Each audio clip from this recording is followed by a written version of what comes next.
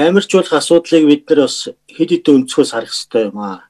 Нэгдүгээрт бол гемт хэрэгээс урдсан гемт хэрэг зөрчлөөс урдсан сэргийлэх ажлын зорилтын одоо нэг арга хэрэгсэл гэдэг талаас нь харах хэрэгтэй. Нөгөө талаас хамгийн чухал юм нь бол хүний эрхийг, хүний эрхийг хамгаалах хэрэгтэй байхгүй юу?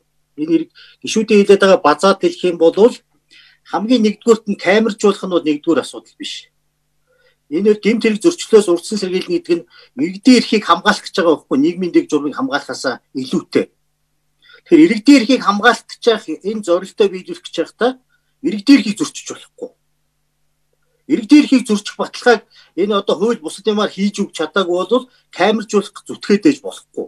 Энэ бол хууль зүйн хүний эрхийн төлөнд зарчим шаардлага. Энэ бичлэг задлаад байгаа чинь Ямбатар сайдаа цагдаа нар өөрсдөө задлаад байгаа үстэй. Эсвэл цагдаагийн байгууллага сөөхөөс хулгай хийгээд байгаа бол тэр хулгай хийгээд бичлэг задлаад байгаа хүмүүсийг одоо арга хэмжээ та нар авсан уу? Авах ёстой. Аваагүй бол тэр цагдаагийн байгууллага сөөхтөр бичлэг задлаад байгаа улсуудад та хэд арга хэмжээ бас авж гинүү. Тэр ингрийн бичлэгээр бол их далайлагдаг болсон шүү дээ. Би бол тэр ингрийн бичлэг чи хэд хэд удаа өвцсөн. Зүг зүгээр явж явахад үзий ядчих гээд байгаа шүү дээ. Яг зүг зүгээр харилцаад ингээд юм яриад би ажилдаа очих чинь би бүх юм номын дагуу байна гэж яхад та нарыг үзий ядчих ингээл цаана бултнаал. Тэгээ бичлэгээ хийгээл. Гэхдээ тэнд хууль зөрчсөн бол би хариуцлага хүлээх ёстой байхгүй юу? А тэр хүн хууль зөрчсөн бол тэр нөхөр хариуцлага хүлээх ёстой. Цагдаач нь төрийг байгуулах гээгүй шүү дээ.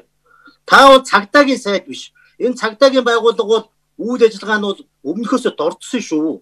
Харилцаа, үйл ажиллагаа энэ болдгоо дарга энэ ямар ажил хийдэг хүү юм бэ? Өнөөдрийг хүртэл хууль зүйн байнгын ороо энэ үнэхрийн ажлыг үнэлж дүгнээгүй байгаа.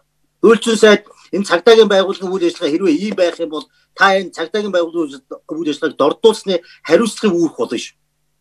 Ковидын үед цагдаагийн байгууллагын ажилласан ажлыг бид дараа нь бүгдийг шалгах хэрэгтэй. Би цагдаагийн байгууллагыг шалгах ажлын хэсгийг ахлах саналыг одоо энэ хууль зүйн байнгын дараагад оруулж байна. Энэ цагдаа гэдэг чинь цагдаачин төрийг бий болгох зориулагдсан биш шүү дээ. Хүний эрхийг хамгаал, хүний эрхийг хамгаалж чадахгүй бол ажиллаа болох хэрэгтэй. Ийм л юм байгаа. Юус энийг ойлгох хэрэгтэй. Нийгмийн дэг журам хамгаал хангана гэдэг нэрээр хүний эрхэнд халтах ажлыг явуулах юм бол камержуулахаж болох хэрэгтэй байхгүй юу? Камержуулах гэдэг нь зорилго биш шүү. Камержуулна гэдэг нь үг зээжилсэн юм шиг точиг давтаад байгаа.